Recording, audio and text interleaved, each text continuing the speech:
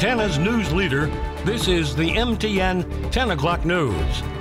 The investigation into a triple death that played out from Billings to West Yellowstone last week has now turned up a fourth body. Well, the details on this latest shocking twist. But first, the three week trial of former Minneapolis police officer Derek Chauvin ends with three guilty verdicts for the murder of George Floyd. Good evening and thanks for joining us tonight. I'm Russ Riesinger. It's the verdict many across the country and the world have been anticipating.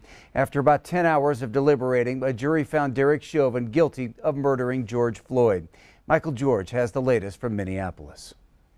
Find the defendant guilty. Derek Chauvin appeared to remain motionless as the judge in his murder trial read one guilty verdict after another. Find the defendant guilty. The jury convicted the fired Minneapolis police officer on all three charges second and third degree murder and second degree manslaughter. Jurors deliberated about 10 hours over two days after three weeks of testimony from 45 witnesses. Crowds erupted in cheers outside the courthouse. Thank God for Minnesota for the truth.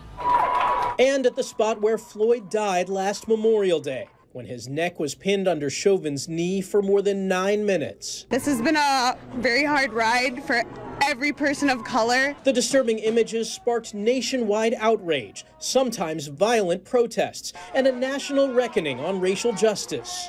I would not call today's verdict justice, however, but it is accountability.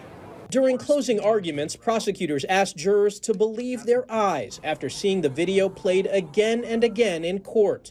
The defense argued other factors, such as drugs and health issues, contributed to the 46 year old's death. More than 3,000 National Guard members stood watch here in Minneapolis as the nation anxiously awaited the verdict. President Biden calls the verdict a step forward. No one should be above the law. And today's verdict sends that message but it's not enough. We can't stop here. Floyd's brother expressed relief, but said the search for justice isn't over. We have to protest because it seems like this is a never ending cycle. Chauvin's bail was revoked and he was taken out of the courtroom in handcuffs. The judge is expected to sentence Chauvin in about eight weeks. Michael George, CBS News, Minneapolis. Well, the death of George Floyd at the hands of Derek Chauvin led to protests across the country, some that turned violent and destructive, others that were peaceful, like the one here in Billings. More than a thousand people crowded the streets of downtown Billings last June for a protest in March to remember Floyd and call for justice in the wake of his death.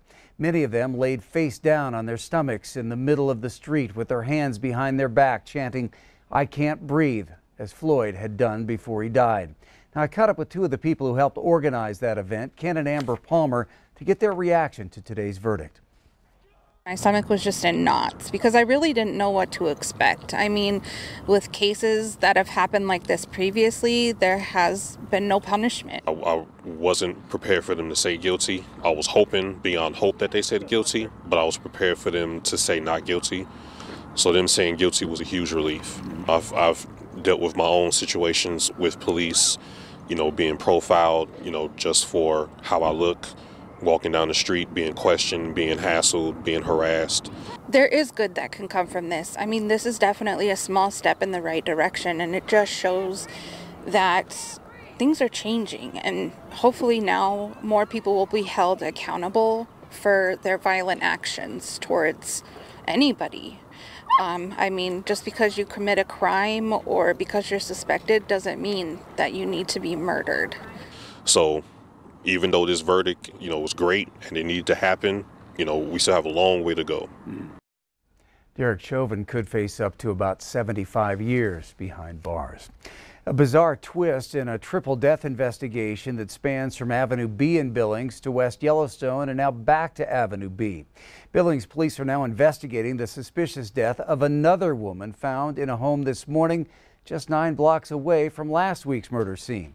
As Q2's Andrea Lutz reports, it's the home of a woman accused in the death of her mother just five days earlier. Billings police are investigating the circumstances surrounding yet another death here on Avenue B. And while the cause of the death is not quite known, what is known is that this death is related to three recent others. We are looking at the motive.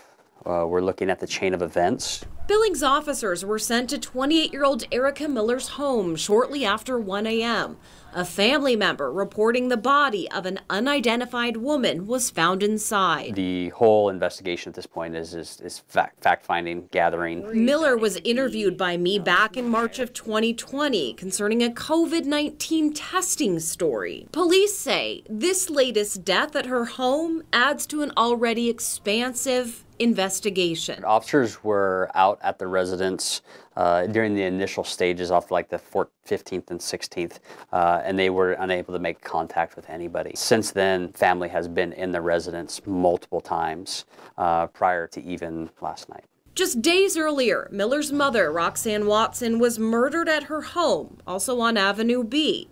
Police say Miller and her boyfriend Henry Porter are suspects in that murder. There's nothing to indicate that there's other victims at this point. The two died in an apparent murder suicide following a police chase in Gallatin County. And Woolley says even though no suspects so far mean no charges, a comprehensive investigation will still have to follow. The case will still be reviewed by the county attorney's office, uh, so there could be some closure for the public. In Billings, Andrea Lutz, MTN News. Thanks, Andrea. And by law, because there's a matter of death and the coroners involved, every death that meets a certain criteria is deemed criminal until established otherwise. Officials say this investigation could take as long as a year to complete. One day after a Billings woman was shot in the head as bullets pierced her doorway, the suspect remains on the loose. But tonight, Billings police tell us they do not believe the suspect is a threat to the public. Billings Police Chief Rich St. John tells Q2 the investigation is ongoing into yesterday's attack at an apartment complex in the 4100 block of King Avenue East. Multiple shots were fired through the door of one of the units just after noon, and a 45 year old woman was hit in the head. St. John says the investigation so far is leading detectives to believe the victim and the suspect were acquainted. The victim remains in the hospital tonight. No word on her condition. Now turning to Chief Meteorologist Ed McIntosh in the Weather Center. A quiet close to home but uh, it's uh, an active scene across much of the country, Ed. That's right, especially as we start looking to areas to our east, anywhere from the Dakotas. And you can see this line of snow showers from just north of Memphis all the way up into Canada tonight. It's actually putting down some pretty good snow in several locations and some thunderstorms out ahead of it. Meantime, we're also watching areas where it could get pretty chilly first thing tomorrow, especially in areas as we start looking into the southern plains where it could be record cold temperatures first first thing tomorrow. Notice the fire concerns as we start looking closer to the Carolinas and also into the Four Corners region where things have been very dry. We'll take a closer look at our forecast details through the weekend and beyond coming up in a few minutes. Well, Northwestern Energy is planning to build a new $250 million natural gas plant in Laurel. The utility made that announcement today as part of its plans to boost long-term capacity resources. That plant will be known as the Laurel Generating Station, will generate 175 megawatts using reciprocating internal combustion engines.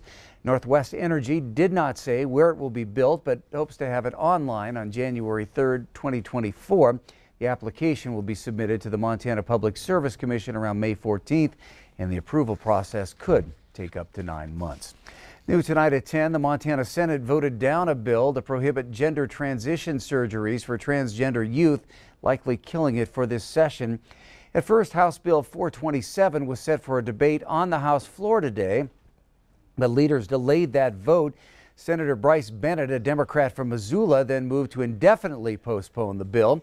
That motion passed 27 to 22, with eight Republicans joining all Democrats.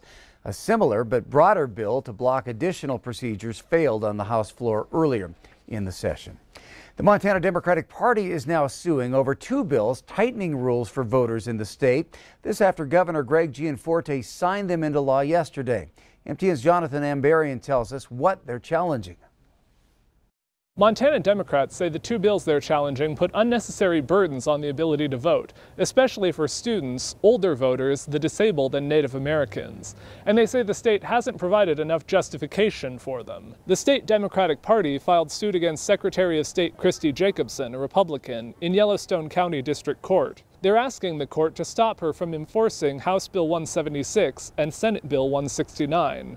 The party's executive director, Sandi Luckey, said, quote, fair access to the ballot box for all eligible voters, whether they are Republicans, Democrats, or independents, is essential to the Montana way of life. We will continue to hold accountable any leader who attacks our democratic institutions. House Bill 176 would remove the option for voters to register on Election Day. Late registration would be closed at noon the day before an election. Sponsor Sharon Greef, a Republican representative from Florence, said it would make elections more efficient and reduce long lines at election offices. Senate Bill 169 would more tightly define what type of ID a voter in Montana has to show. It would specifically require additional proof of residency for voters showing student IDs. Republican Senator Mike Cuffe of Eureka sponsored the bill and said it was a reasonable way to ensure only Montana residents are voting. The Democrats' complaint argues there's no evidence the state's current laws were vulnerable to voter fraud, and that the new limitations are only going to make it harder for people to vote.